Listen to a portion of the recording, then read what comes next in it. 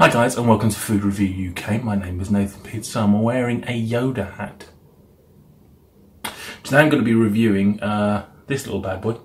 You've already seen the thumbnail of it, but I'm going to show you it again. Crooked Alcoholic Soda, uh, Mother Moon, Peach and Pomegranate. Long-standing watchers of the channel will know that I love an alcoholic brew which is sweet and fruity, um, like women. This obviously jumped off the shelf because look at that packaging, that's some crazy shit.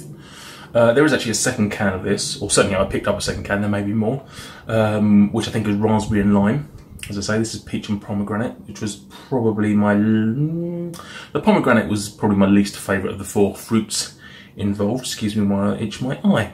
I think this was about 150 or £2, so fairly pricey considering it's just a can, but at the same time it's alcohol, it's always going to be a bit more pricey, isn't it?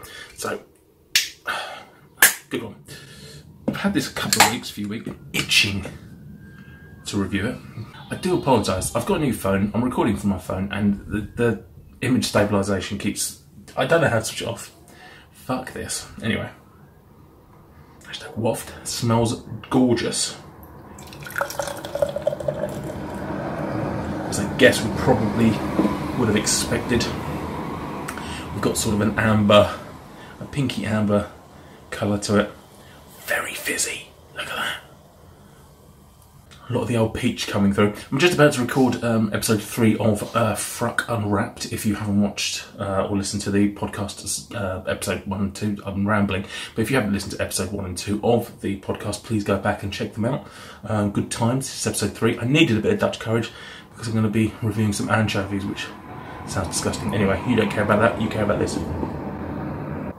Oh, not quite as sweet as I was expecting it going, going to be. I thought this was going to be sort of a very much uh, WKD-esque uh, levels of sweetness and flavour. Obviously has some elements of it because it's fruity. It's actually quite dry. I guess if I had to sort of try and explain it, it's very similar to flavoured water. You know, like you get the flavoured water which isn't fully impactful, full of flavour. It's kind of like that, but probably taken up a notch or two.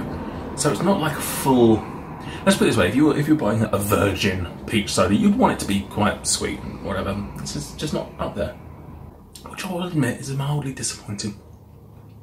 It's not bad, just a little bit dry. There's a bit of an odd aftertaste, quite a bitter aftertaste, which may be the pomegranate.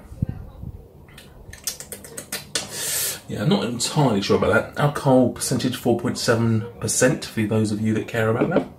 So this is more to have a good time than get yourself fucking noshed off. That's not the expression for drunkenness, but you know what I'm saying. A little disappointed by that. Probably gonna give it still three stars. Heavy high three three three three frisks.